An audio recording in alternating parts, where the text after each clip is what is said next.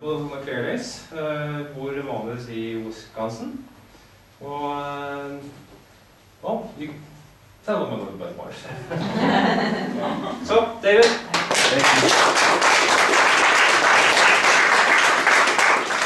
Well, it's certainly great to be here again. Those many familiar faces and spines that I see out there, and, and some new ones that we get our, get our hands on today. So I, I'd love to discuss a little bit about what gives me passion here, what brings me to work with you and your spine, and also a little bit where I've come from. come from Iowa, close to Wisconsin. And there, my parents were chiropractors. My uncles were chiropractors. My cousins are chiropractors. I was 12 years old before I understood what aspirin did. I mean, just didn't make any sense. An aspirin commercial on TV that people would, don't they just go to my father? It's just one of the things. So, and then I went on to try to understand what was happening in uh, what, all these wondrous things I saw in my life. I went on to get a degree in psychobiology, how psychology and biology interact, and then a graduate degree in neuroscience. And by that time, I learned everything there was to know that was known about the brain and physiology. And I go, that's it? we don't know much. so as I went into chiropractic myself then, I realized what my job was to do is to turn on what is natural inside us. Bring on that aliveness that brings us into health, into joy, into relationship. It's not about, I found, trying to fix something, because we don't know enough how to fix something. We don't even know why it's broken, or if it is. I mean, is pain bad or is it good? Who knows? So, my job, and this is what I've come into in greater passion, is how to create aliveness in each of you and in myself. And how to create alive relationships between us. Many people have relationships that are inside their commitment. They have commitment. Inside is a relationship. Is the relationship alive in there? It may have started that way, but now how is it not? So the people will continue with their commitment, whether it's to themselves or to other people, and not have such a great relationship inside. So how do we help that increase? How do we help aliveness come back into that? So that's that's where my path is now, because it just, but that's what I want to do. So that's where I, I find network creates that aliveness within me that I can bring to others. The three types of relationships that I find we need alive, aliveness in. Yes, I want relationships with others to be alive. But before I can have that, I need to really have an alive relationship with me. If I can't have a, great relationship with myself, how can someone else? And before that even, I find I want an alive relationship with the now moment being right here. I want it to be delicious, to be able to do, mm, it is so amazing and delicious to be right here, right now. But what we find when people come sit on our tables and network, they come into this beautiful, peaceful room that Jack and Henrik and everyone has created here. And they sit on the table. It's peaceful and joyous, and their and their face is smiling, but their spine is not. So the spine, we call, that's the back of your mind. That's the past. And sometimes the front is tight. So whenever we're keeping a story real from the past or the future, we're living in it. And you know how much of us is in the now moment? Not much. or maybe quite a bit. But part of us is in the past, or part of us in the future. We're lost. I mean, there's only one place you can be. Right here. How can people get lost? Here Am. Okay, I myself. but if we're keeping the tension in our body, some part of my brain is living as if that story is real. And now in the, in the moment, in the real moment, we only can respond, react. It's really, really great to respond in the moment sometimes. But you don't really learn from that. You react and respond. That's what we're designed to do. We learn from the past stories. We, we plan from our future stories. But when we keep them real, we keep reacting. as if they're already happening or still happening. So what we'll do in network, we're gonna check your spine You go, oh, past. That's a story you're keeping. So what we're gonna work with is that those parts of the brain and help them find each other. Because there is one part of the brain that's always going, what do I need next? What do I need next? Where am I going? And, oh, it's a bathtub. Who's racist? There's a bear. well, in the body, there's really two states. Either peaceful, easy, healing, digestive mode. I just had lunch. Hmm. Or fight, flight, or freeze. Fight, flight, freeze. Run from a bear. Because when the bear's chasing you, you don't need to digest, because you might be lunch. Who wants to digest? Oh, you gotta, gotta go. You don't want to heal yesterday's injury, because you might get more injuries if you don't put the energy into it. You don't want to, no reason to put energy into regenerating yourself, because you may not make it till tomorrow. Or even no need to feel the fact the bear already bit you. Gotta go. And on Tuesday, before I came to Norway, someone came to my office brand new. I was telling her the story. And she goes, yeah, I was bit by a bear. and then here, and here, and I go, and I'm, go, no, I'm sorry. And like, I, I'm so sorry, I just had a pause. I'm so sorry I'm smiling so proudly. But you, oh my God, you really were bit by a bear? and, and she said, and I asked her, did, did you feel the fact that it had already bitten you? Before a bitch you get, No, I was getting out of there, man. And she says, yeah, and she was like, she, so she explained exactly what I've been for 20 years, telling this story to practice members. Finally, someone came in who'd been bit by a bear, but I felt so, I felt so bad that I was so happy about it. uh, but she understood. I had to tell her, I'm sorry, but I just couldn't get the smile off my face. But, uh, no, but anyway, so she had a she's had a rough time. It was rough. So um, I could uh, have fun with it. But so I asked her, can I tell people? Can I please tell people about this? She said, okay, because the fight, flight, or freeze that is designed to last until you get away from that bear. How she got away from the bear, I mean, it bit you twice here and there. She must have really had some spurt of energy. I mean, she was up in the woods and wow, that's amazing. But that's why we have that ability but it's designed to last just for a little while. In our modern society, it lasts for days, years, decades, your whole life. You'll have people think, thinking that old age is, is this, getting more and more. That's what people think you do when you get older. You get more tight, you get more, more hunched over. Ah, that's just keeping your story longer and longer. It stays in the system longer and longer. It's like we shore it up like a tree, you get more rings, more, you know, oh, I've got these thick muscles. Haha, I've kept this story on for 25 years. You know, something I was almost real proud of. But that's not really old age. Old age is wisdom.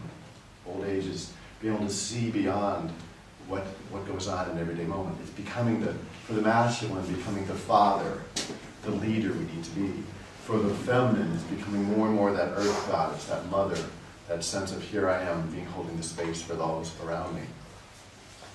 So when we carry the fight, flight, or freeze, those systems that are fed by that area don't heal, regenerate, digest, or feel as well as they could. Wow. Some people don't want to feel things. But actually, we don't want to feel the story. So the story we keep real is what we're afraid of. In fact, it's the story that people keep real we don't like. It's not like we don't like a person. It's really we don't like how they react to us or respond to us. That's through the stories they're keeping real. So it's amazing how once in a while I have that person come into the office that is really tough to get around. Oh, they're so kind of intense or this way. And you know, after about a year, I found a lot of those people. I'm off skiing with them for a week in, in Switzerland, I'm off doing this, and they become my best friends. The same people that I didn't like, as they freed up those stories, they become, I could see their soul, I knew who they were. They, they, they were with me in, in relationship. So that's where we want to go. The contacts that we make in network have to be pretty gentle. If they're too, too hard, it'll put them in more into fight, flight, or freeze. Mm-hmm. We have to access the system. What I was studying in neuroscience at Northwestern University in Chicago was how the little tiny receptors in the skin affect the whole system. Mm-hmm. They found that you can take one tiny, what they call free nerving, free nerve ending, free nerve ending afferent going into the nervous system. It could shut down one little thing, It could shut down the entire uh, musculature, musculature of the body. They're very, very powerful. So, we're going to be taking contacts very specifically. Because if you go too deep at the beginning, you're going to activate something different. So we have found that if we take contacts in just the right way, it sends information to that part of the brain that's rechecking and saying, hey, did you know this guy over here was still living in that? And they go, whoa, what? Hey, hey, hey, it's peaceful. It's nice. Oh. So on the table, you're going to feel muscles relax. Mm-hmm. Bones are going to start sliding on top of each other again instead of being rigid. Connective tissue is going to need to unwind. That means when you're on the table, you're going to need to move. Okay? So if you don't think you should move, you're not going to be successful. So you might find yourself on the table, laying there, and you go, wait, yeah, I kind of want to do this. Oh, no, no, I can't do that. Want oh, oh, oh, yeah. Ah. So if you don't move on the table, we're going to tell you to wiggle. Now that's a little more embarrassing when you have to wiggle. I mean, that's like a kid. I gotta wiggle. No, move. So move your legs, move whatever you need to do. Let it just unwind, and then it'll, it'll complete pretty quickly. There's been some great research recently that I've seen that has talked about this very thing. Where they're seeing that when they study the brain, there's some resting activity, when you're just sitting there, there's activity going on in the brain in all sorts of different places.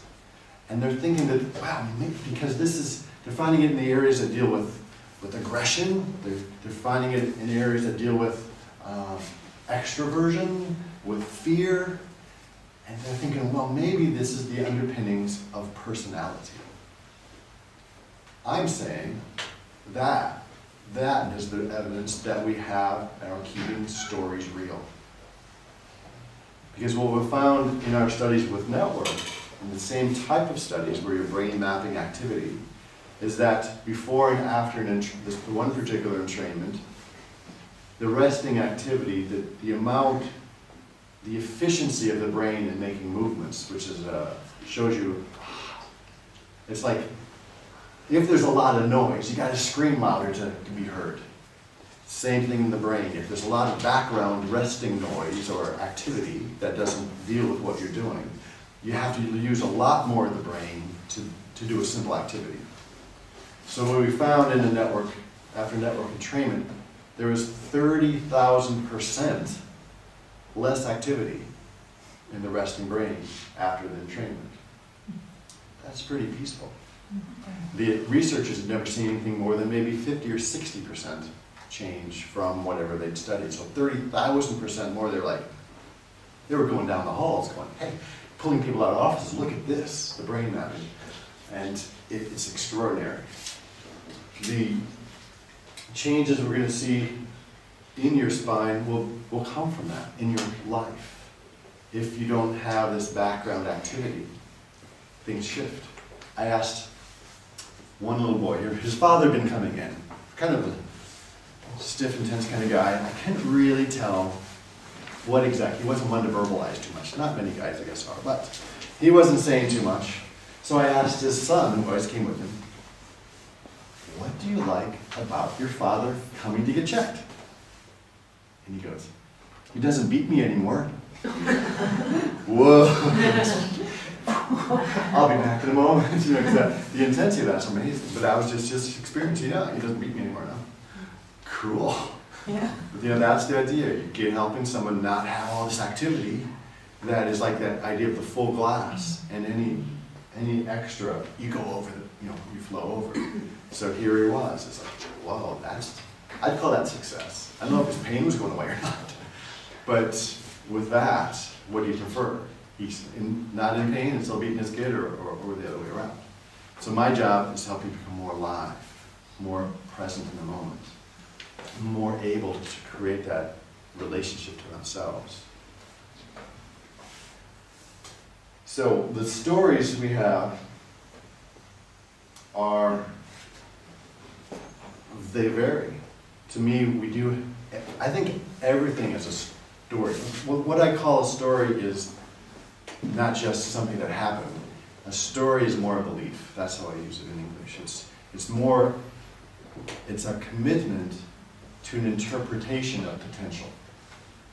So if I have a story, it's usually somehow I'm interpreting, interpreting, interpret, have an interpretation of the potential of how I relate.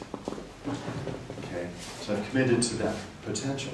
So my interpretation will maybe that no one's going to like me, or my, my story might be, be, you know, if I walk down the street, they're always going to try to beat me up. You know? So there's different, you know, those kind of stories, and there's, but there may be also a story that, hey, I have, I have every opportunity ahead of me.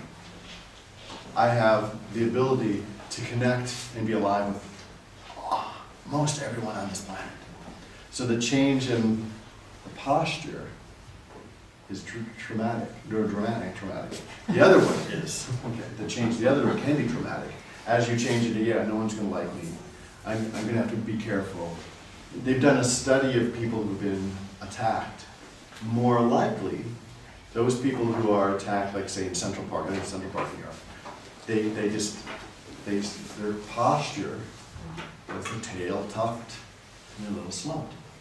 So the tail tucked is like in a wolf pack, where we basically believe the story that I'm gonna have to let, have to let people do things to me to get my needs met. So each bit of posture really has a story to it. We need stories or commitments to potential to define who we are, to be separate from each other. So those defining stories, I can't do anything with because all of me believes in them. But as I grow, I move past them. And suddenly those what used to define me confine me. Part of me believes it, part of me doesn't. That's what we're going to work with here. Because that's what you're able to see. If we dredge up a defining story, you won't, one, want to look at it. You won't want to see it. I can't understand it. It's not time.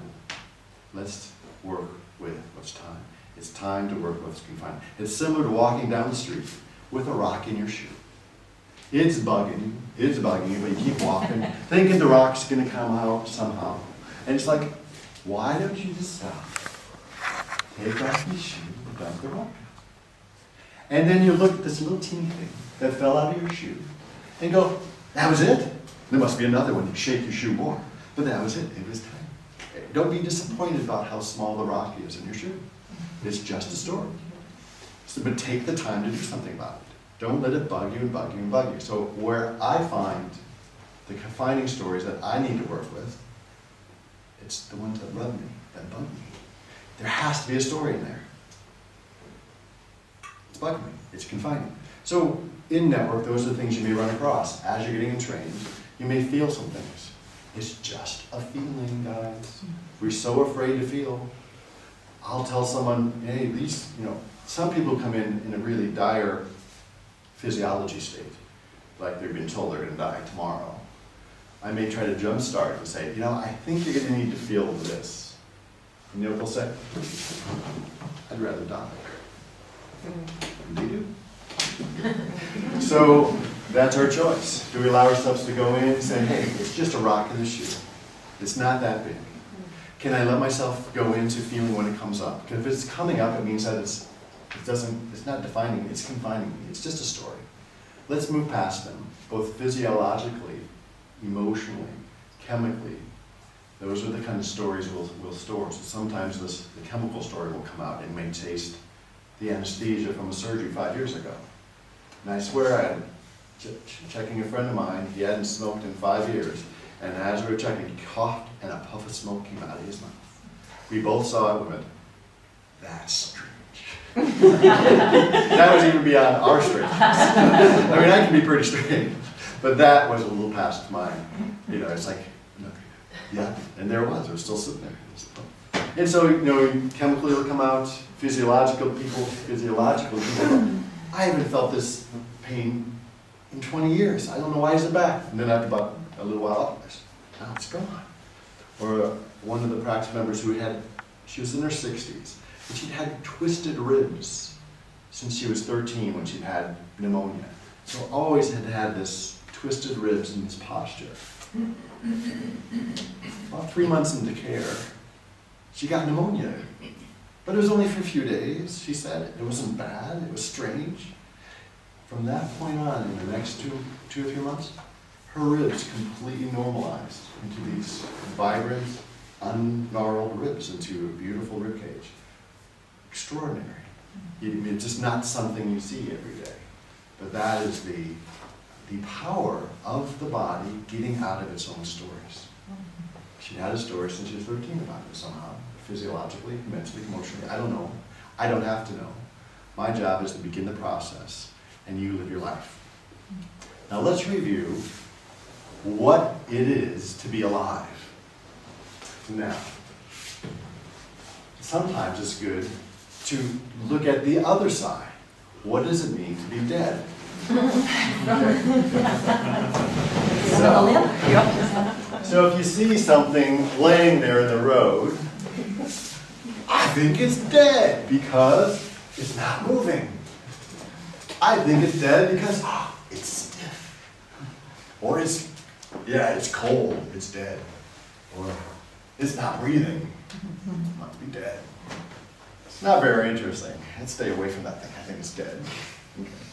So when it is alive, when we are alive, what happens? We move. Oh, this one doesn't work.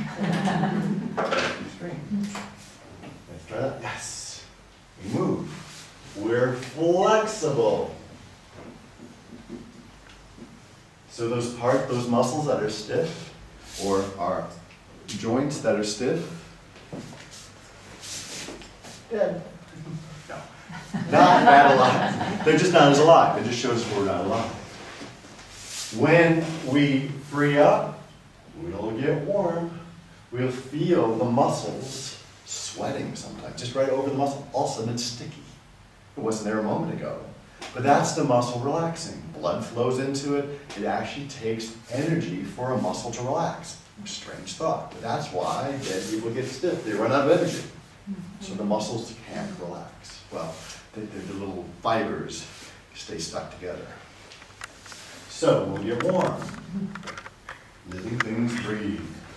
So as you're on the table, you'll feel yourself breathing to places you never thought you could breathe into. All of a sudden, I felt breath down to my toes. I had a great experience in my life. 10 years, 11 years, I worked in New York City, in Brooklyn, and also in London. I broke in Brooklyn and Long Island. Two huge practices. In New York, people don't hold back.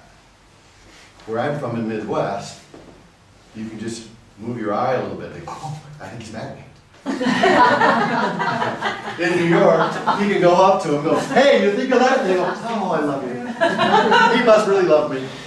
You know, you can go into it. So in New York, it was really, this you know, network was developed there. And I know why, because you met every type of person on the planet. And with every type of thing, and they told you about it. So you could understand, wow, when this vertebra is like this on people, they're worried about stuff. When this vertebra's back, they can't feel their heart.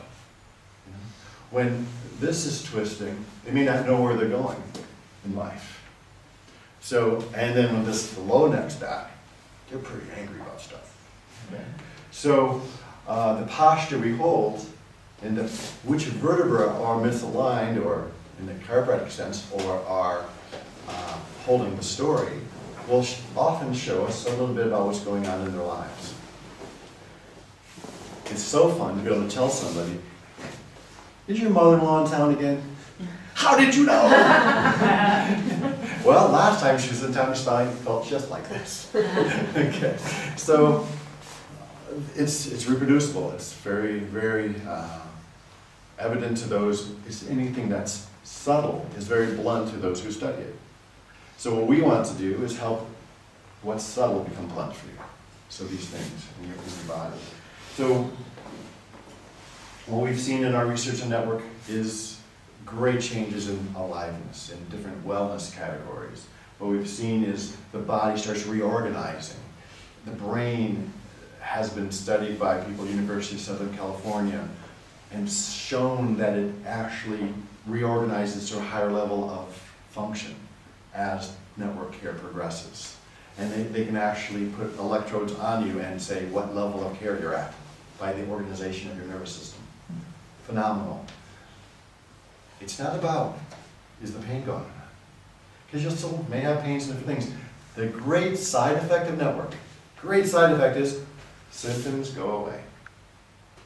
Understanding one last piece of physiology, and then we're going to move on and start experiencing it, is the fact that when the spinal system is in fight, flight, or freeze, when you're running from that bear, the spinal cord itself, within the bones, elongates. It unfolds. And if you get change the structure, changes function. The change of structure shifts you into fight, flight, or freeze. That's great because of all it does.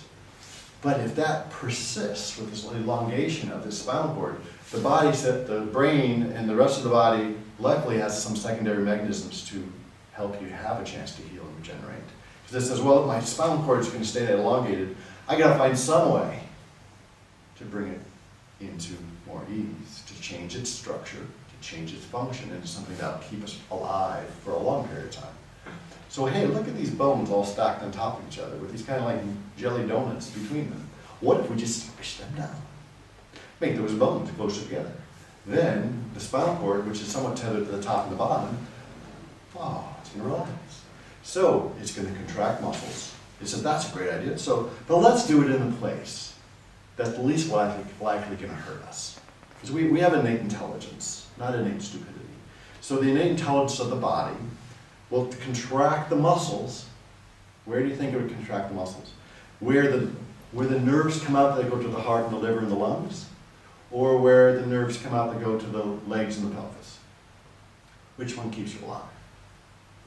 So the body will use the lumbar vertebra. For one, there's a huge area for the nerve out. You can squish it down and not even hit a nerve. There's a big, huge disc down here between the vertebrae. So you can squish that area down. And the nerve that, if it does hit a nerve, it goes to the legs. Oh, I got a pain. But it, it's not to the heart, liver, lungs. So the body's smart. It's going to use this as the pressure relief valve.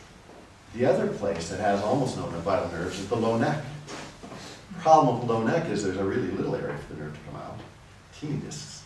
But if this doesn't work, it goes to here. So what do people come in with? Maybe 70, 80% of the time. Low back pain, low neck pain, oh my, it hurts down my arms, it hurts down my legs.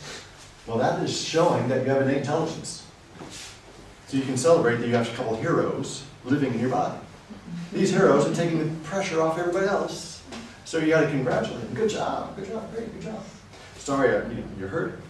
But if you don't know that that's what they are, it's like if you see the last bit of a hero movie, and there's some guy laying on the, uh, on the airport uh, runway bleeding. And what's that? He's dead. no, he's the hero. Okay. So, knowing that he's the hero, you can participate better. And so, we're going to end with here with this talk is to begin what we're going to begin now, is getting a better relationship to the now moment. As you continue during the day, I want you to revisit what we're going to do here. Because every contact we make, we want to help your body come into the state more at, in the beginning of care. So the first part of care is to reduce and release this tension your body's been holding so you can turn the healing back on. The second part of care is then going to actually take those stories. Instead of just helping the story no longer be real. That's the first step. The body's going to be rechecking. Is the story real? Nope. Okay, nothing chasing me. Okay. The next question would be, in your relationship within yourself, is it true? Is the story true? But especially, when is it true? So your body will need to become and create wisdom. Wisdom is to know when is to know when something is or isn't true. Is it going to happen or isn't it? So when you have the wisdom from the story, you don't need the story anymore. Because you don't. You can sit there instead of going, oh my God, oh my God, I'm going to be eaten up because this is going, oh my God, oh my God. It's like, is that real? Sorry. But when did, to know when is it true? Oh, if I go into the forest and I hear these big stamping footprints and I hear a growl, ah, it's real, it's true. okay. But in between times, it's not. I can sit there and relax. I'm safe here. Am I going to be burned like a witch again? No, that was a while back. okay. Unlikely, but I'll know if it's true. People coming with, with torches and pitchforks, that might be true then. okay. But in between, I don't have to worry about it. So I can relax, right? So that, that's where we went ahead in the second part of care. The body will then start oscillating, creating this, these new organizational structures in the, in the brain.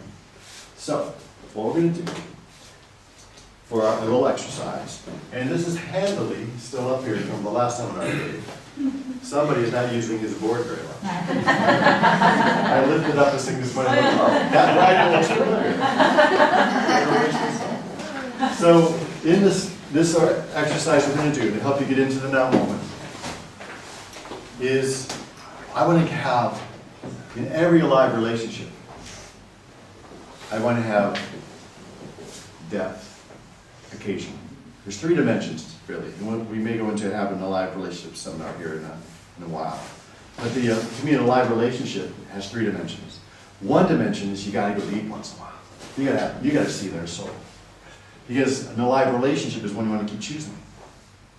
If, you, if the path of your relationship starts darkening, you got to bring light to it. And one way to bring light to it is to be able to see their soul, because our soul shines. We're a spark of God. I, if we knew a spark of God was down the street, we'd go look at it. Whoa, hey, you are one. So we want to help you remember that by getting the first fundamental ability in all relationship is the ability to get present. If you can't be present with somebody, you can't go deep with them. If you can't go present with yourself, you can't go deep. You can't get present in the now moment, you can't find yourself because you're lost. All right, so to get present in the, in the now moment, we're gonna one. There's an exercise. I learned a lot about this from a man named Leonard Jacobson. He lives and breathes presence. He believes dogs are the highest level of intelligence on the planet because they're always so present. Oh, we're gonna go to the park, yeah, oh, my food, my food, know? And they're excited about anything, and they're always right there. Okay, so he thinks they're the highest level of intelligence because they're present. So, maybe not intelligence, but of spiritual development. So he was happened to be at my house one time for a barbecue, and I was living in a house on Long Island that felt funky. Yeah, everybody felt that? You're in the house. It feels funky here. You know, if people lived there before, maybe something happened. And so we're talking about this, and he goes, "Come on, it's just a house. It's a structure. You're talking about the past. The past doesn't exist. We call it the past because it's past. It's done.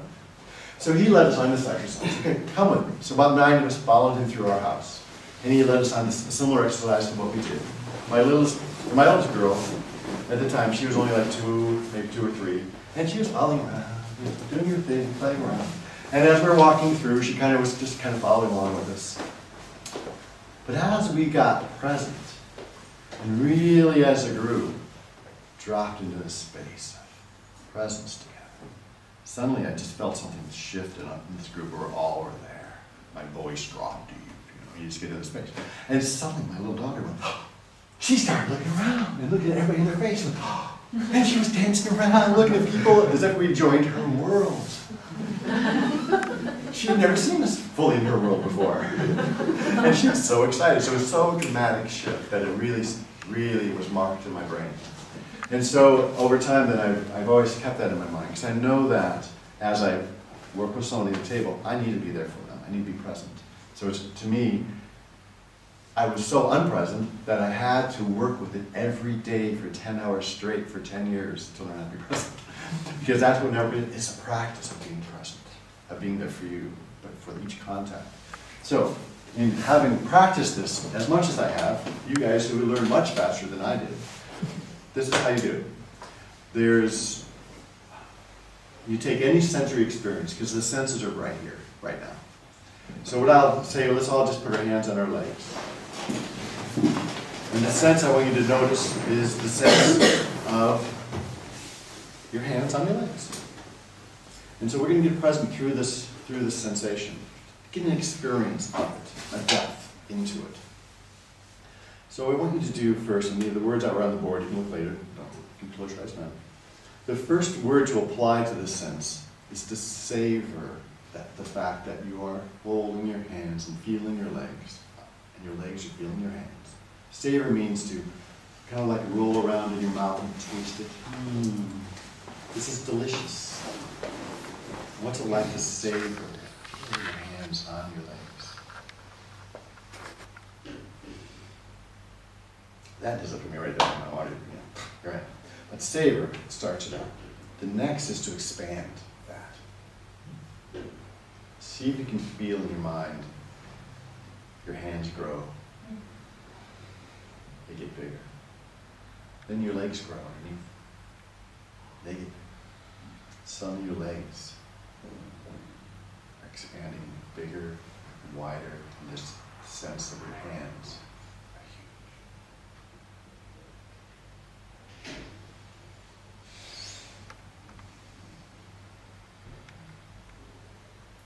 Start feeling how your hands and your legs aren't separate. They expand into each other. They expand up into your hands. Next, respond. Respond from the moment. If you feel like breathing, moving, sighing, respond from the moment. That's what we have. The only thing from the past that's really in the present is wisdom. The only thing from the future that's really in the present is vision. Where are you headed? So respond with your vision and your wisdom. How do you want to be in the future? So savor, expand, respond, then value. Value where you've come from in the past.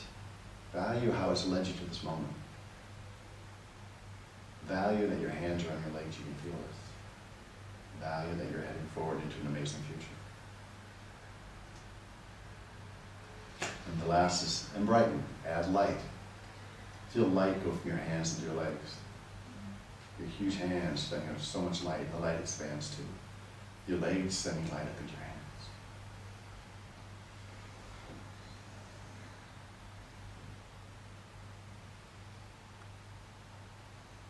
Feel if your breath is full or not in this. So savor, expand, respond, value, and bright. Luckily, they spell out the word serve in English, so I can remember them.